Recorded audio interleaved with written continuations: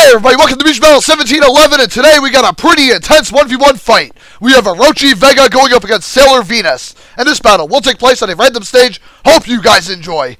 Orochi Vega looking to put the blonde bombshell on the shelf and acquire another large win. Can Venus regroup and awaken the dormant beast inside again? Let's find out. Round one, go. Alright, Orochi Vega tries to string together a couple kicks, aerial round, strikes Venus down. Orochi Vega tries for the dart.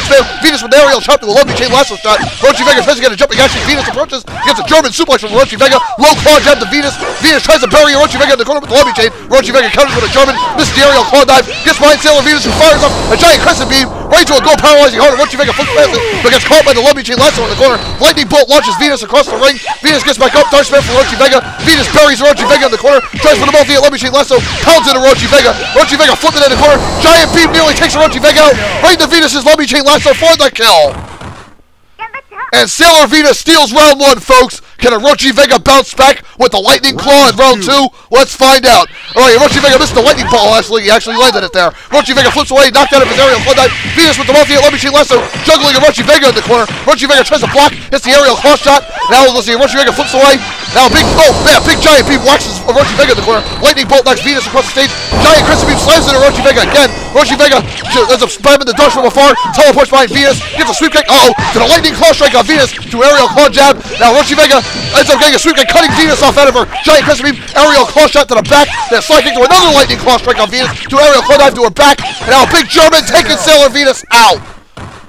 What a monster comeback from Orochi Vega in round two. And guess what? We're going to round three. Let's see who takes it. Orochi Vega with the low claw jab. Venus with a foot kick to Orochi Vega. Who greets her with a slide kick. Now Orochi Vega with the lightning bolt slams Venus right out of the air.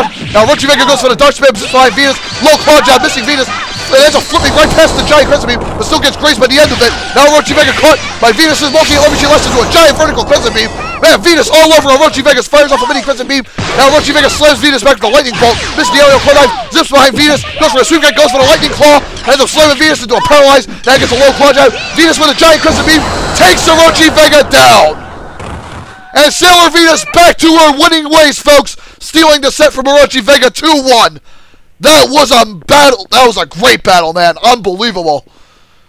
Whew, man. I had a hard time keeping up with that one, honestly.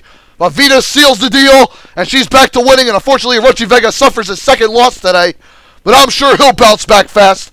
Anyways, folks, stay tuned for Mission Battle 1712 coming soon. Later, all.